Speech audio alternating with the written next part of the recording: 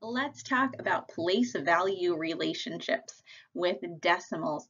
So just like whole number place value works on a base 10 system, our decimals do too. Every time we increase in value, it's like multiplying by 10. In our decimals, it works the very same way.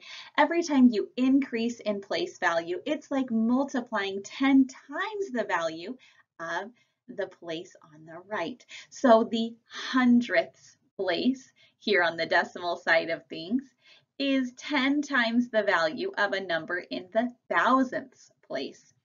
Just like the tens would be 10 times the value of something in the ones place. So let's think about how these compare to one another. Looking at part A here, the value of a digit is blank times the value of a like digit, one place to its right. Well, let's pick a place. I'm going to pick the tenths place, and I'm going to pretend I have an imaginary number. Maybe it's a 3.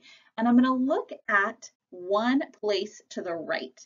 Well, the place value that's just to the right of the tenths would be the hundredths and I can see that it is 10 times the value. So one place away, one jump away would be 10 times the value. What if it were two places away? Look at part B here. If it's two places to its right, that would be looking at the thousandths place. So if I look, the difference between that tenths and the thousandths place, it's one two spaces away. Each time I jump one of those spaces, I'm increasing in value times 10. So 10 times 10 would be 100 times the value here. Notice that I multiplied those because they increase times 10 each time. I'm not just adding them up. They're multiplying times 10 each time, so I must multiply to get 100 times the value. Hmm. Well, let's try one more here. This time for C, it asked me to find the value of a like digit three places to the right. So let's say we have a hundreds place here and I'm looking three places to the right. Okay, so one place to the right I've got from the tens to the hundred would be times 10. Okay, that's one place away ones to the tens, that's two places away. One, two places from the hundreds. Okay, so 10 times 10 is 100. Then I'm going to jump one more time. I'm going to jump really far because notice this decimal point isn't actually a place value, just holding that spot in my chart. So three places away would be the tenths place. The tenths place compared to the hundreds place is three places away. So I jump one, two, three times 10 times 10 times 10 means the hundreds place is 1,000 times greater than the tenths place. Three places away means three jumps times 10 each time. So let's compare a couple of numbers, shall we?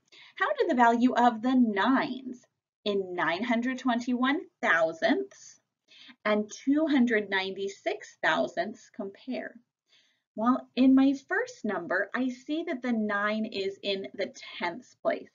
So I'm going to write my 9 here. In my second number, I see it's in the hundredths place. Okay, so put my 9 in the hundredths. Let's compare the tenths place to that hundredths place. That's one jump away. That means the value of the 9 in the first number is 10 times greater than the value of the 9 in the second number. One place away means one jump times 10. We can also find comparisons in place value even when we're going the opposite direction. Multiplication and division are opposite of one another. The inverse, we say, of multiplication is division.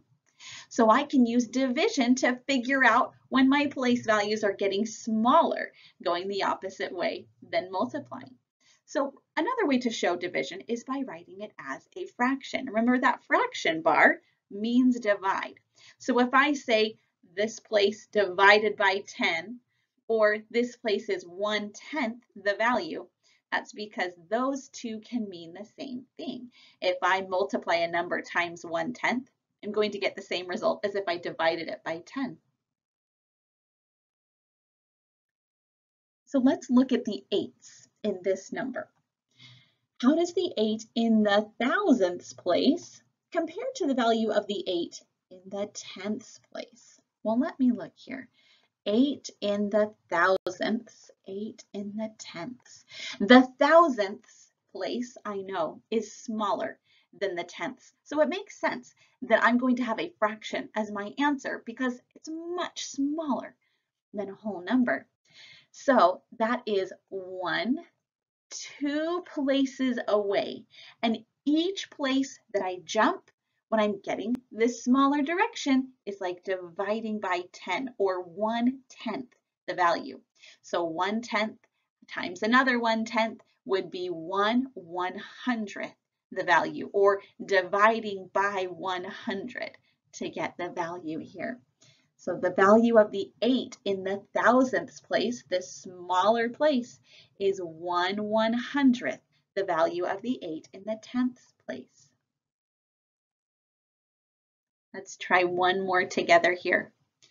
How does the value of the 4 in these numbers compare? 34 and 9 tenths compared to 249. Well, let's look. The 4 in our first number is in the ones place. I'm going to put my 4 here in the ones place. The 4 in my second number is in the tens place. So I'm comparing the smaller place value ones compared to the bigger place value tens. They are one jump away from one another, one place value away. And since the ones is smaller, I know that my answer is going to be in fraction form. The 4 in the ones place is one tenth, the value of the 4 in the tens place. I know this is a tricky concept. There's a lot to think through and to wrap your brain around when you look at comparing place value relationships. I hope this helps you start to see how these different place values can relate to one another.